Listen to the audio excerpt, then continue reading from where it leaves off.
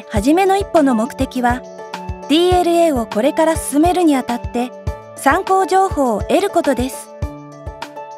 子どもの生活環境や言語環境をよりよく知り子どもと評価者との間に信頼関係を築きそして子どもが DLA に前向きに取り組める雰囲気を作ることを目的に行います。すべての子どもが対象です。日頃の様子から会話力や語彙力を把握している子ども DLA をすでに実施している子どもに対してはこの初めの一歩をスキップしても構いません。構成は挨拶や子ども自身のことに関わる導入会話と55問の名詞動詞形容詞の基礎語彙からなる語彙力チェックからなっています。名詞は体の一部や食べ物動植物学校にあるものなど。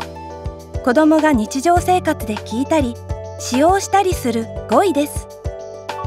目とまつげ口と唇のように子どもにとっての高頻度低頻度の語彙や牛と角木葉枝のように全体と部分を表す語彙などが配列されています。動詞や形容詞も学校生活や家庭で子どもが触れる語彙が使われています。座り方は子どもの正面に向き合うのではなく机の角を挟んで座ります。そうすることで子どもとカードや空間を共有し威圧感の軽減につなげます。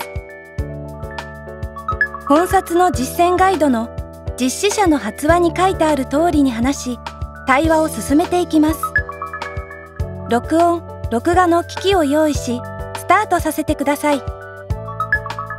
はじめの一歩にかかる時間は5分程度です。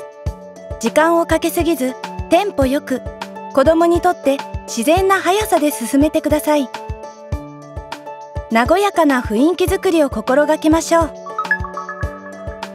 途中で子供の発話を遮ったり否定したり訂正しないでください。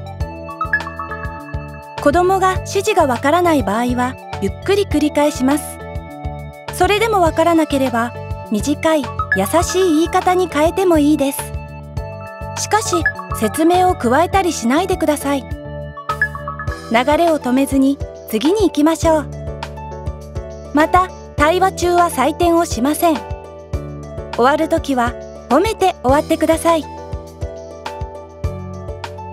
ではこれから実際のやり方を見てみましょう。DLA はじめの一歩を実施してくれたのは対日期間9ヶ月の3年生アミールさんです。アミールさんのプロフィールです。年齢9歳。実施したのは3年生の12月です。入国年齢8歳。3年生の4月でした。対日期間9ヶ月。生まれはウズベキスタンです。母語はウズベク語。母語力年齢相応にしっかり読み書きができる。ではご覧ください。じゃあ始めましょう。こんにちは。こんにちは。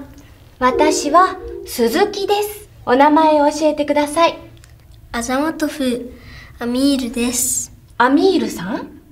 アミールさんでいいかな今日はアミールさんがどれくらい日本語でお話しできるか知りたいです。わかることは何でも話してください。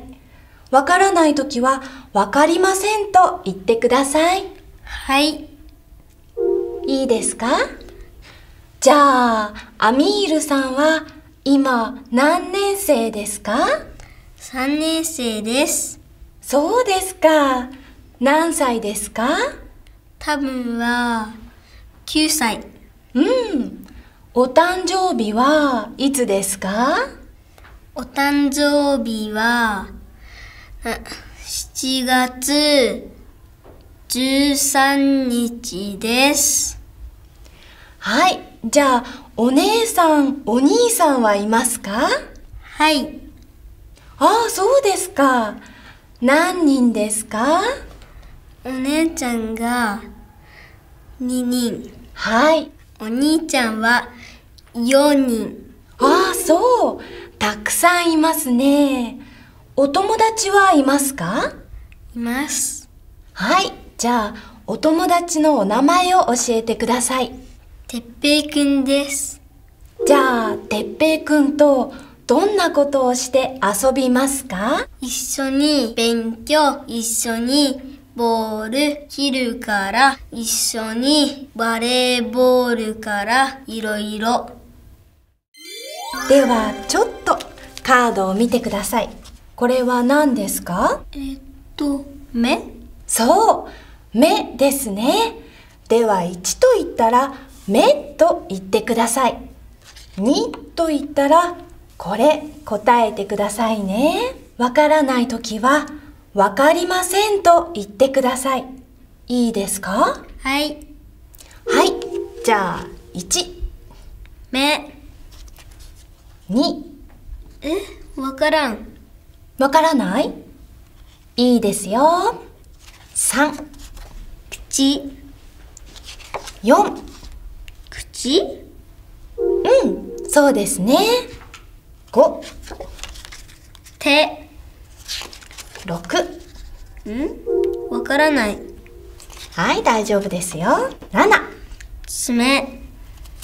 8、鼻。はい、15、脂肪。16。鳥。あ、鳥じゃない。違う？縄鳥。あ、はい、いいですよ。17、馬。43。何をしていますか？水泳する。おー、すごい。44。何してますか？書く。45。何してますか？歯磨き。51。どんなスカートですか？ん？うん、こっちは長いですね。では、こっちは？短い。52。どんな鉛筆ですか？わからない。うん、こっちは太いですね。では、こっちは？わからない。はい、大丈夫ですよ。はい、とてもたくさん答えられましたね。まだ9ヶ月しかいないのにすごいですね。ありがとう。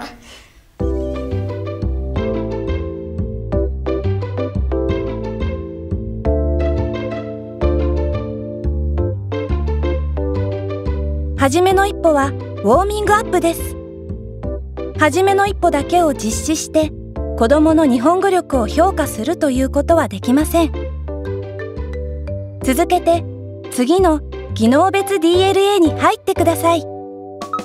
目安として DLA はじめの一歩がだいたい70%から80%以上できると判断した場合は次へ進むことが可能です。20%から30%以下であったら次へ進まずに終了します。その中間で判断に迷う場合は少し先へ進んでみて判断しましょう。子どもの日本語の習得度によってはこの DLA はじめの一歩の途中で終了することもあります。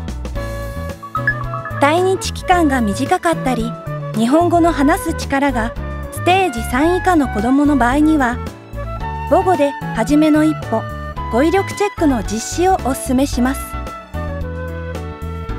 母語がわかる実施者がいない場合でも語彙力チェックの語彙カードを使用して答える様子を録音録画し後日母語がわかる評価者に確認してもらうという方法も考えられます。